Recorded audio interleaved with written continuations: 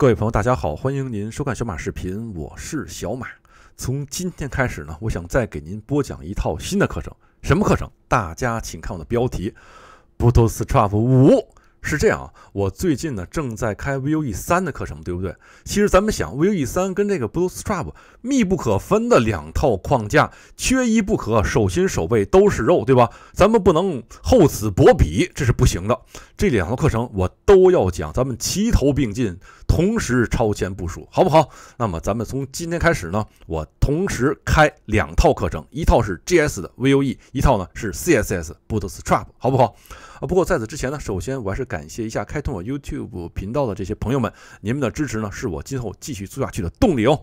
好，那咱们开始今天的课程啊。首先，咱们先看一下 V 五的官网，马上看一下啊。五已经有官网了，所以说马上访问一下。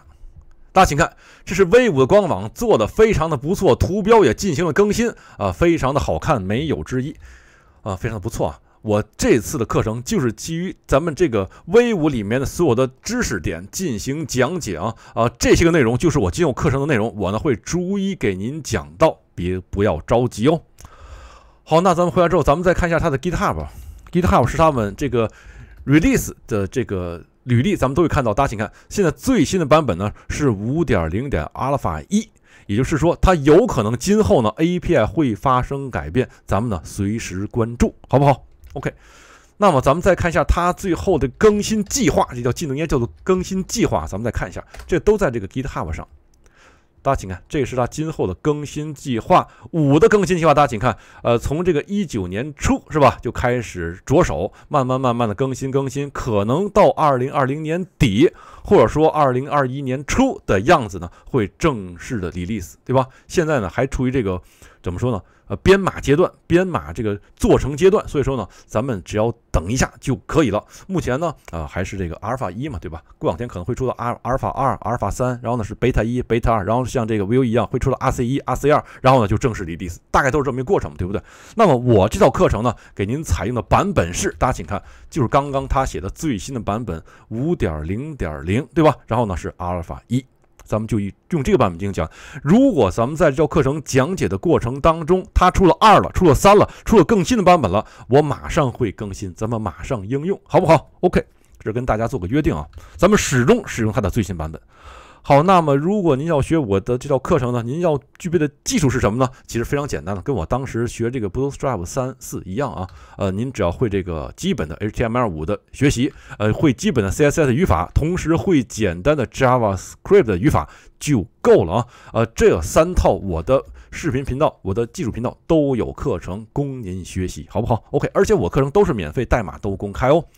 然后咱们再看一下采用的工具。呃，首推 VS Code 没有质疑，对吧？呃，我做了 N 多课程，都是采用 VS Code，非常的好用啊。然后呢，同时有朋友说我在 Mac 下，我想用这 Atom，或者说我因为我是个收费用户，我用这个 EMEditor 行不行？行，您用 Nano VI 也都可以，没有问题。Nano VI 咱们别瞧不起它，它也支持这个颜色显示，都没有问题啊。它只要有一套模板就可以。好，浏览器，浏览器的话，咱们首推 Chrome。现在 Chrome 在国内普及率应该也是非常的广，所以说呢，首推 Chrome。像我们公司都不支持这个 Firefox，都不支持这个微软的，都支持 Chrome，只仅仅支持 Chrome 吗？